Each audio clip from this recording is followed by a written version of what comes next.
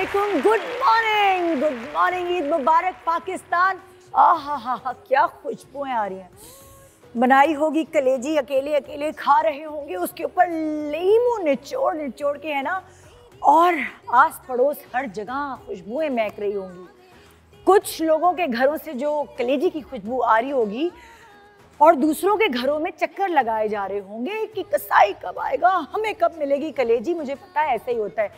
जिसका नंबर सुबह सुबह लग जाता है, जैसे जिसमें हम भी शामिल हैं, भाई, मुझे शो पे आना होता है, ज़रूरी है कि नंबर वन हम हो, कसाई की लिस्ट में सबसे पहले हम होते हैं और पता नहीं कितने अरसे पहले बुकिंग करा लेते हैं।